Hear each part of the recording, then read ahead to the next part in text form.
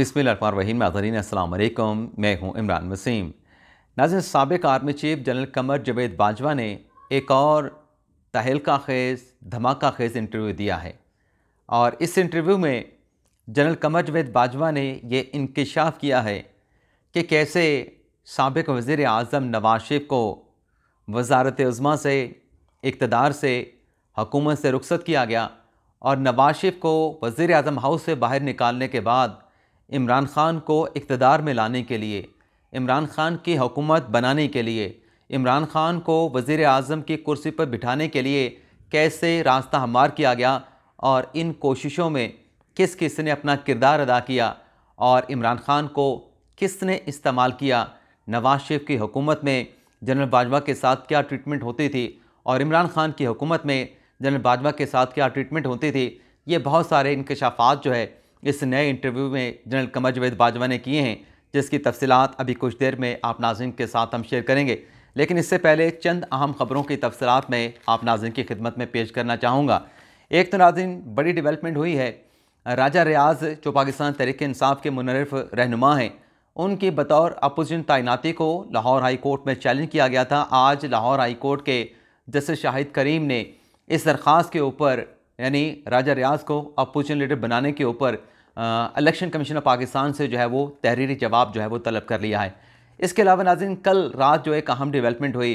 हुकूमत की जानब से एक मुजवज़ा बिल, जो चीफ जस्टिस का सो मोटो का अख्तियार है, उसे रेगुलेट करने के लिए कौमी असम्बली में पेश किया गया। और फिर कौमी असम्बली में उस बिल को जो है मुतल कामा कमेटी को जो है वो रेफ़र कर दिया गया था। आज की तारीख में वो जो बिल था चीफ जस्टिस के सोमोटो के अख्तियार को रेगुलेट करने के लिए वो पहले ना सिर्फ़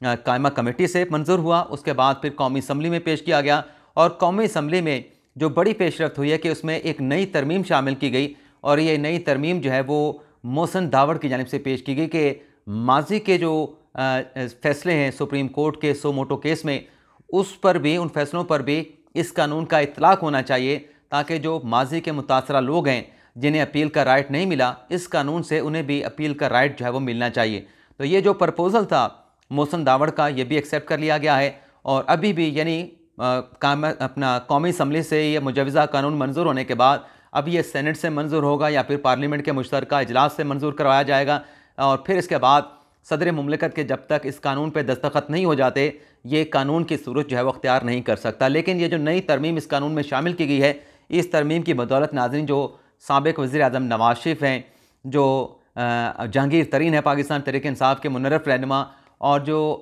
बाकी ऐसे लोग हैं जिनके ऊपर आर्टिकल बासठ वन एफ़ का इतला किया गया है, वो सुप्रीम कोर्ट के फैसलों के ख़िलाफ़ जिसमें डिसकॉलीफिकेशन हुई है, वो अदालत उज़मा से तीस रोज़ के अंदर जो है वो रजू कर सकते हैं, यानी अदालती फ़ैसले के ख़िलाफ़ जो है अपील दायर कर सकते हैं। लेकिन आज डॉक्टर बाबर वान साहब ने और सदर आरिफ अलवी साहब ने इस कानून साजी के हवाले से कुछ इजहार राय किया है। एक तो सदर साहब ने कहा कि ये जो कानून पास किया गया है, इस पर जो टाइमिंग है, वो बड़ी अहमियत की हामिल है। जबकि डॉक्टर बाबर वान साहब ने कहा है कि ये जो कानून हुकूमत पास कर रही है, इससे अदलिया का जो अख्तियार है, चीफ जस्टिस का जो अख्तियार है उससे करटेल किया जा रहा है। और कहा बाबर वान साहब ने कि इस कानून को अगर मंजूर करके सदर के पास भेजा गया तो सदर साहब के पास दो ऑप्शन होंगे। एक ऑप्शन ये होगा कि सदर साहब जो है, इस कानून को मंजूर ना करें और कानून को वापस जो है पार्लियामेंट को भिजवा दें। ये जो ऑप्शन बताया है बाबर अवान साहब ने, एक मरतबा तो ऐसा कर सकते हैं। सदर ममलकत जो है, उस कानून को वापस भिजवा दें। लेकिन दोबारा अगर पार्लियामेंट के मुश्तर इजलास है, जो कि अभी तक चल रहा है, दस अप्रैल तक उसको जो है, वो मुलतवी किया गया है, ख़त्म नहीं किया गया तो पार्लियामेंट के मुश्तर अजलास से हुकूमत ने इस मंजूर कानून को दोबारा मंजूर करवा के सदर ममलिकत को भेज दिया। तो सदर साहब अगर अड़तालीस घंटों में यानी अड़तालीस ने दस दिनों में अगर उसे एक्सेप्ट ना भी करें तो वो कानून की शक्ल अख्तियार कर जाएगा। इसके अलावा नाजी दूसरा जो ऑप्शन बताया डॉक्टर बाबर रवान साहब ने कि इसके ऊपर सदर साहब को जो है सुप्रीम जुडिशल काउंसिल में रेफरेंस देना चाहिए और सवाल पूछना चाहिए कि आया कि ये जो कानून पार्लियामेंट बनाने जा रही है, जो कि मुजवज़ा कानून है, क्या पार, अपना सुप्रीम कोर्ट को ये कानून मंजूर है? क्या सुप्रीम कोर्ट को इस कानून के ऊपर कोई एतराज़ है? क्या सुप्रीम कोर्ट जो है इस कानून को तस्लीम करेगी? तो ये उन्होंने कहा कि सवाल फ्रेज करके ये रेफरेंस जो है सदर साहब को जो है उस अपना सुप्रीम कोर्ट ऑफ़ पाकिस्तान को भेजना चाहिए। अब ये जो दूसरा ऑप्शन बताया है, डॉक्टर बाबर रवान साहब ने इससे एक लम्हे के लिए एक्सेप्ट भी कर लें,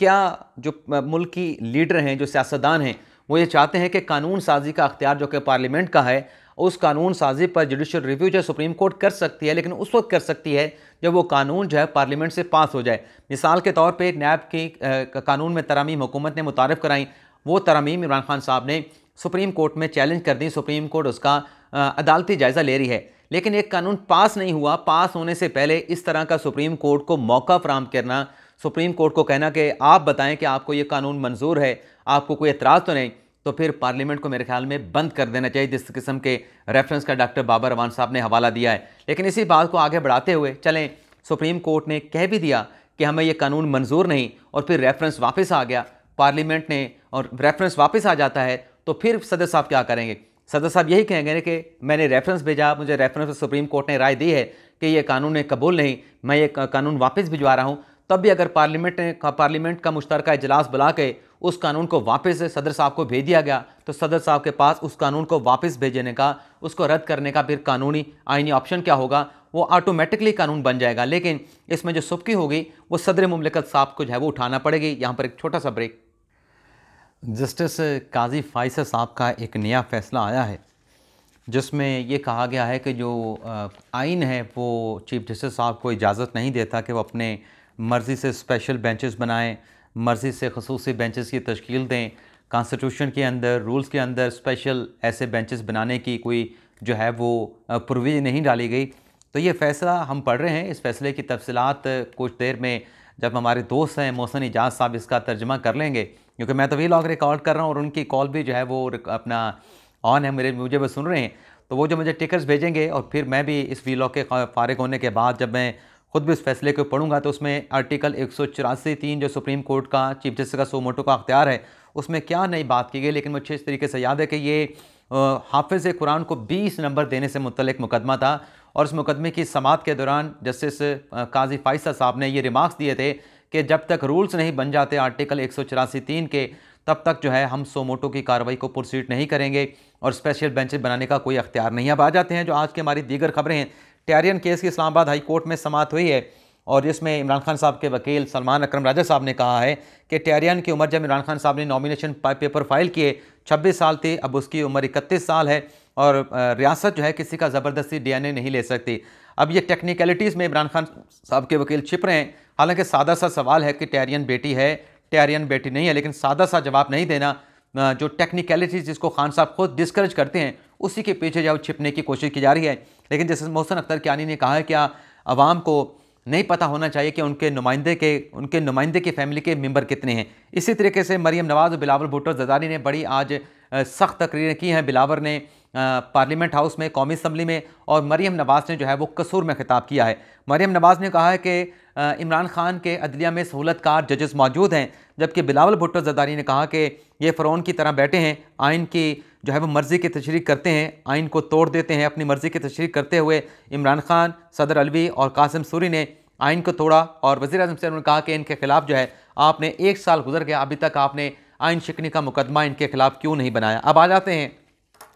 जो जनरल बाजवा साहब का नया इंटरव्यू है। वैसे ये जनरल बाजवा साहब का जो पिछला इंटरव्यू शाहिद मितला के साथ आया था, उस पर भी बड़ी कंट्रोवर्सी क्रिएट हुई थी, जिसमें ये बाजवा साहब के मुख्तलिफ़ मौके सामने आए, मुख्तलिफ़ साफियों के ट्वीट्स के वसात से कि उन्होंने कोई इंटरव्यू नहीं दिया। लेकिन शाहिद मितले का कहना था कि मैंने, मेरी जो बैठक हुई है, उसे मैंने जो है इंटरव्यू का नाम दिया है और उससे बैठक के दौरान मैंने जितने सवाल बाजवा साहब से पूछे, उन तमाम सवालों का जो है जनरल बाजवा ने जवाब दिया। ये जो नया इंटरव्यू है, ये भी दरअसल ब्यूरोक्रेट्स के साथ और साफियों के साथ एक लंबी नशस्त है, जनरल कमर जवेद बाजवा की। इसके मंदरजात आपके साथ मैं अभी शेयर करूँगा, लेकिन इससे पहले आपको ये बता दूँ कि एक हमारे दोस्त बता रहे थे कि जनरल बाजवा के साथ जब बैठक होती है साफियों की क्योंकि वो खुद भी साफ़ी थे, बता रहे थे। तो वाले साहब पहले साफ़ी साफ़ियों से पूछ लेते हैं। एक साफ़ी या एक से ज़्यादा साफ़ी हो तो पूछ लेते हैं, कोई काम तो नहीं है, कहीं आपने जाना तो नहीं है। यानी बारह साहब जो है वो खुल के साफ़ियों के साथ बात करते हैं, लंबी नशस्त होती है तो इसलिए नशस्त के आगाज़ में बारह साहब पूछ लेते हैं, कहीं जाना, आना या कोई मसरूफियत तो नहीं है, ताकि बैठक हमने लंबी करनी है तो आपको कहीं उठ के जाना ना पड़ जाए तो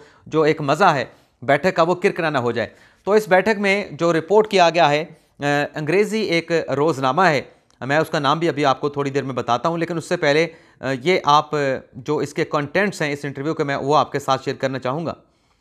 ये मैं इसको निकाल लूँ। हाँ जी। इसमें कहा गया है कि इमरान खान,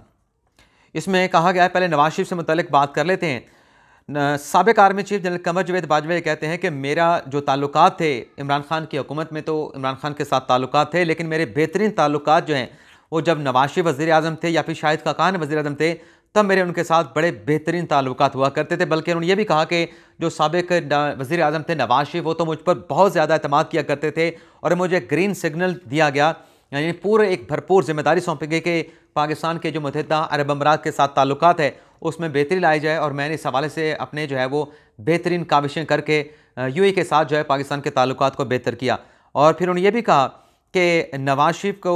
के साथ जो कुछ हुआ, यानी जो अदालतों के हवाले से बात की जा रही है कि नवाज़ शरीफ के साथ जो भी हुआ, वो गलत हुआ। और इसकी खबर की हेडलाइन ये है कि नवाज़ वाद अनजस्टली आउटस्टेट यानी उसे बिला जवाब जो है, इकतदार से वजारत उस्मा से जो है वो निकाला गया। और इस हवाले से जनरल बाजवा ने कहा कि नवाज़ शरीफ को जो इकतदार से निकाला गया, उसमें मिलिट्री इस्टेब्लिशमेंट का किरदार था। अब मिलिट्री इस्टेब्लिशमेंट का किरदार कैसे, इसमें अदलिया का किरदार कैसे आएगा? तो जहरी सी बात है कि पनामा के मुकदमे में जो नाहली हुई अकामा के ऊपर, वो सुप्रीम कोर्ट ने फैसला दिया। इसके बाद जो एहतसाब अदालत नैब कोर्ट से नवाज़ शरीफ को दो केसेस में एवन फ़ीड रेफरेंस में और उसके साथ साथ जो दूसरा मुकदमा था अपना अजीज़िया का, उसमें जो सज़ाएँ हुई तो बाजवा साहब की बात से ये बात क्लियर हो जाती है कि इस वक्त जो अदलिया है, जो जुडिशल इस्टेब्लिशमेंट है, वो मिलिट्री इस्टेब्लिशमेंट के अंडर उनकी इंस्ट्रक्शन के ऊपर, उनके दबाव के नीचे या उनके कहने के ऊपर जो है काम कर रहे थे। इसके अलावा नाजिन इसी नशस्त में बाजवा साहब ने इसाक डार पर तनकीद की, ब्यूरोक्रेसी पर तनकीद की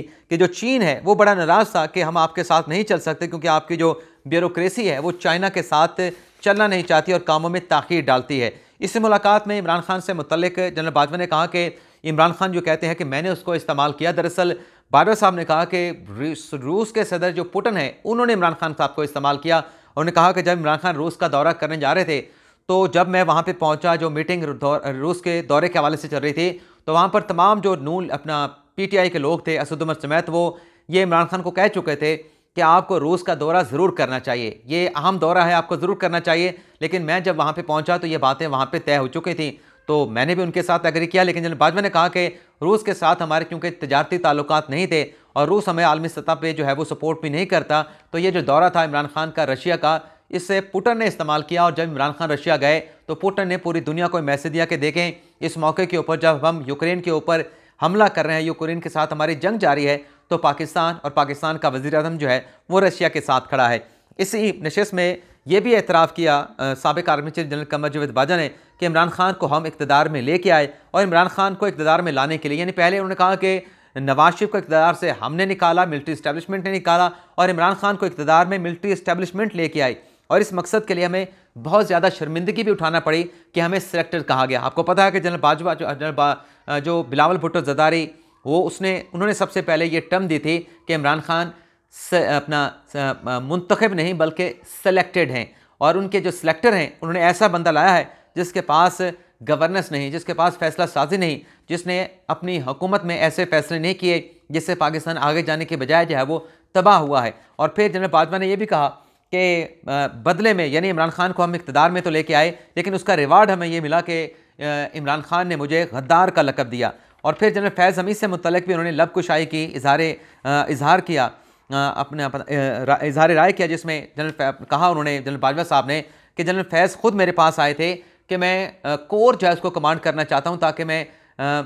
एलिजिबल हो सकूँ। जब आर्मी चीफ़ के नाम जाएँ तो उसमें आर्मी चीफ़ के लिए मेरा भी नाम जो है उस लिस्ट में शामिल हो। तो जनरल बाजवा ने कहा कि जब जनरल फैज़ के कहने के ऊपर नया आर्मी चीफ लगा दिया गया, लेफ्टिनेंट जनरल नदीम अहमद अंजम को लगा दिया गया और वज़ी अजम की तरफ़ से, इमरान खान की तरफ़ से नोटिफिकेशन नहीं जारी किया गया तो ये हमारे लिए बड़ी जो है वो अजीब सी सूरत हाल थी। और फिर ये भी कहा जनरल बाजवा साहब ने कि तमाम फैसले इमरान खान खुद किया करते थे, गलत लोगों को इन्होंने जो है वो अहदे दिए जिसकी वजह से वो डिलीवर नहीं कर सके। और फिर उन्होंने कहा कि इमरान खान ने मुझसे मदद मांगी कि जितनी भी अपोजिशन है उसको जेल में डाल दें। जब मुझे ये कहा गया तो मैंने इमरान खान से कहा कि मैं ऐसा नहीं करूँगा क्योंकि मैं अगर ऐसा करूँगा तो मुझे फिर मुझे वज़ी अजम की जो आपकी कुर्सी है इस कुर्सी पर बैठना पड़ेगा। उन्होंने कहा कि मैंने इमरान खान को जवाब दिया कि हमारा काम नहीं आ, मेरे मुल्क में ऐसा नहीं हो सकता। अब ये जो कहा गया कि मेरे मुल्क में ऐसा नहीं हो सकता उससे पहले अगर इमरान खान आपको कह रहा था कि अपोजिशन के जेलों में डाल दें उससे पहले इमरान खान को लाने के लिए कि आपने नवाज़ शरीफ को खुद इकतदार से नहीं निकाला, ऊपर आप एतराफ़ कर रहे हैं, नीचे आप कह रहे हैं कि मेरे मुल्क में ऐसा नहीं हो सकता,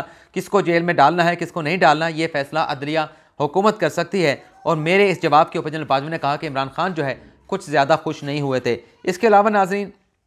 सबक अपना खातून जज को धमकाने के मुकदमे में इमरान खान के एक मरतबा फिर नाकबिल ज़मानत अरेस्ट वारंट जो है जारी कर दिए गए हैं, जिसे इमरान खान साहब ने जो है वो मुतल एपलेट फोरम के ऊपर जो है वो चैलेंज कर दिया है। तो ये था नाजिन हमारा आज का वीलॉग इजाज़त चाहते हैं, अल्लाह ताला हम सब का हमें ना सिर्फ़ अपनी दुआ में याद रखिएगा। अल्लाह हाफिज़।